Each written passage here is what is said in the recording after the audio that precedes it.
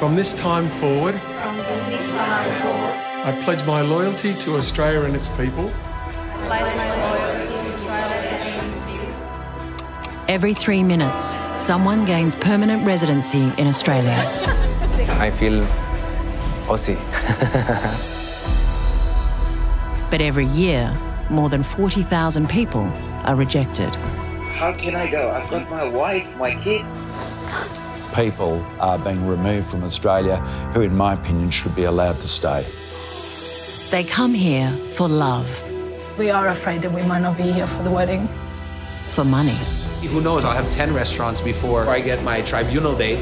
for family, These people haven't met Kieran. He's just a number. for safety. I'm expecting the Australian government would look after me as a stateless person.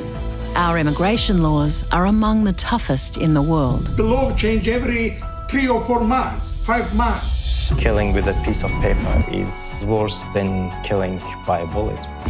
The tribunal is now in session. For close to a year, our cameras captured the moments that matter The decision will be a matter of life and death. to the ones who want to call Australia home We belong here. This is our home. in the fight of their lives. I just want to know what my chances are. The answer is I don't know. I'm just giving you a call to let you know a decision came in today.